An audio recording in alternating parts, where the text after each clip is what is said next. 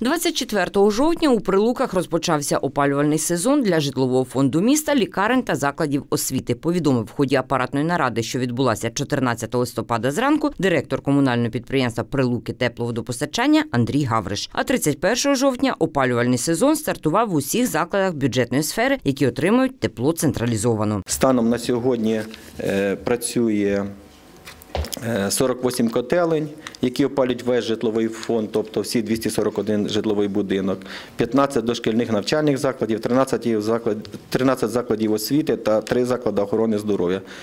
Е, Прилуцька центральна міська лікарня, стоматологічна поліклініка і медико-санітарна допомога. Не включені 11 котелень. Це котельні згідно розпорядження, які були це за адресою Садова 151 ДНЗ номер 2 Низова е, ДНЗ номер 10 і школа номер 2 е, по вулиці Ветеранській.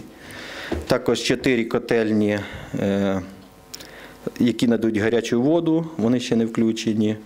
І згідно листа управління освіти, це 13-та школа, е, СЮД, Галганівська 12 і Незалежності 16, там дві школи ще не не включені. Це ті заклади освіти, які наразі працюють виключно у дистанційному форматі, але деякі з них можуть перейти до очного. В такому разі у них також буде вімкнено опалення, зазначив Андрій Гавриш. Міський голова Ольга Попенко поцікавилася у посадовця про температурний режим у помешканнях прилучан. Сьогодні прилучани повинні знати відповідно рішень уряду. Чи Змінилося чи не змінилося температурний режим. Раніше говорили про те, що в квартирах буде 16 градусів. Що на сьогодні ми маємо 18, 19, чи ми залишаємось на 16 градусах? Ситуація яка Е, світло відключають приблизно 3, 3 рази на добу. Так.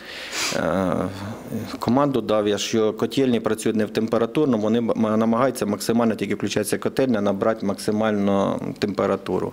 Так. Але технічно на великих котлах це ну, технічно неможливо, е, ну, це безпека. Да? Тобто е, не, навіть не того, що там швидше набрати, да? можна там порушити і набрати.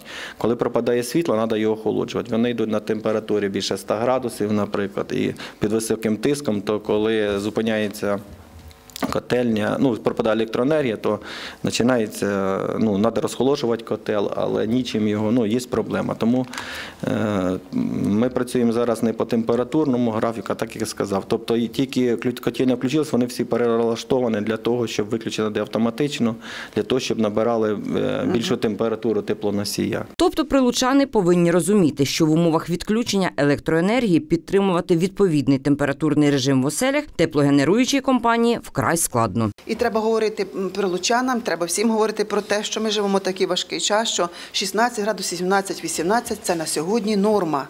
Це на сьогодні норма. Треба з розумінням нам ставитися, бо така складна ситуація в нашій державі. З розумінням прилучанам слід ставитися і до питання оплати вже спожитих послуг комунального підприємства Прилуки тепловодопостачання. На сьогодні борги населення за тепло і воду вже сягнули понад 40 мільйонів гривень, зазначив Андрій Гавриш.